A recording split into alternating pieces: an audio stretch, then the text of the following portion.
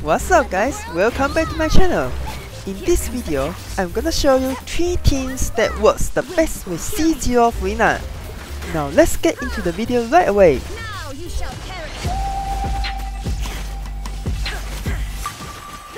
The first one is our Joster Cyno.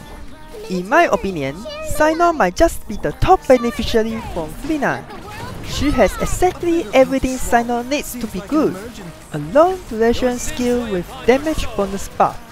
Paired with Baizhu, the downsides of HP drain gets nullified completely. At the same time, he allows Furina to gain stats quickly, which in turn provide maximum damage bonus buff for Cyno. On top of that, Baizhu is already a great support for Cyno himself as he increases both Hyper Bloom and Aggravate damage. With this team, Cyno is now in a much better position than before. Please do give it a try. I'm sure you'll be surprised with his performance.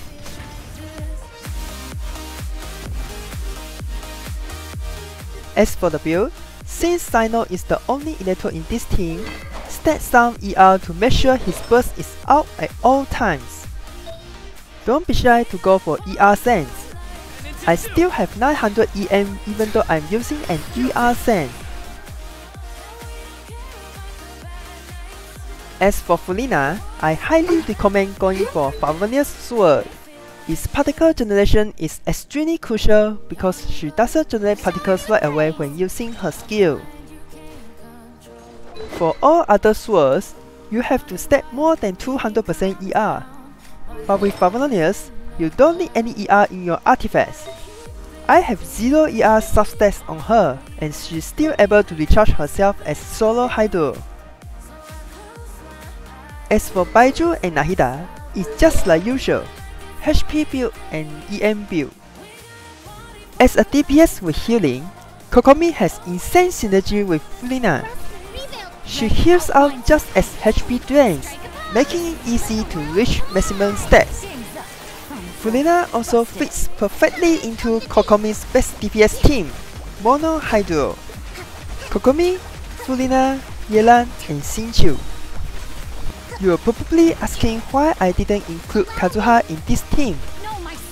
First of all, this is a purely single targeting with range attacks.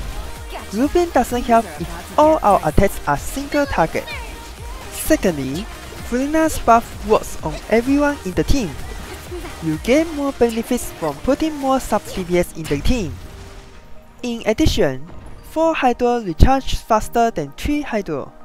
This allows everyone to go for more DPS oriented build. A shame I don't have better DPS weapon for this showcase. Now this one might be a surprise for you. Furina actually works quite perfectly with the Raiden. Raiden, Yelan, Furina and Jean. Swear by my sword. I'm not entirely sure how it works either, but it's extremely powerful. Just fix your eyes on this. Let my name echo in song. Things are about to get dicey. Wait, hear me.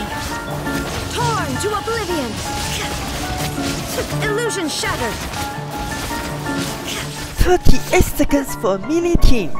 How? Unbelievable. I really don't understand where the damage comes from. Everyone except Jean is C0. No signature either. You should try this team yourself and let me know your experience with it.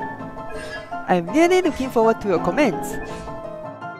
Well anyway, that's all for this video. Thanks for watching and I'll be seeing you next one.